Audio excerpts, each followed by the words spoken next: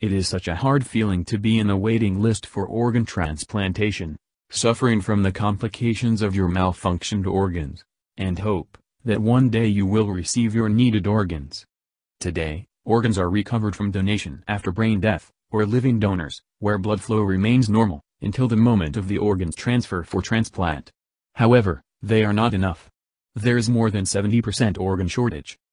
Only one in four will actually receive one, leaving over 120,000 patients with the immense burden of organ failure. To address the shortage, we are targeting the donation after cardiac death, which the patient suffers from non-survivable injuries, except brain death. When the patient has cardiopulmonary life support discontinued, the heart begins to fail, and perfusion of organs becomes inadequate. This bad perfusion causes to organ tissue damage, which make the organs unrecoverable.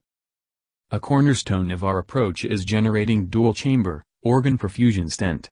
The flow of blood in each chamber would circulate, as follows. Blood from the heart would continue to flow through the center lumen of the stent to the lower body, and return to the heart through normal venous pathways to avoid strain on the dying heart. For organs perfusion, a cannula would deliver blood to an oxygenator, and a sheath would carry oxygenated blood to the external stent chamber, for perfusing only the arteries of the isolated abdominal organs.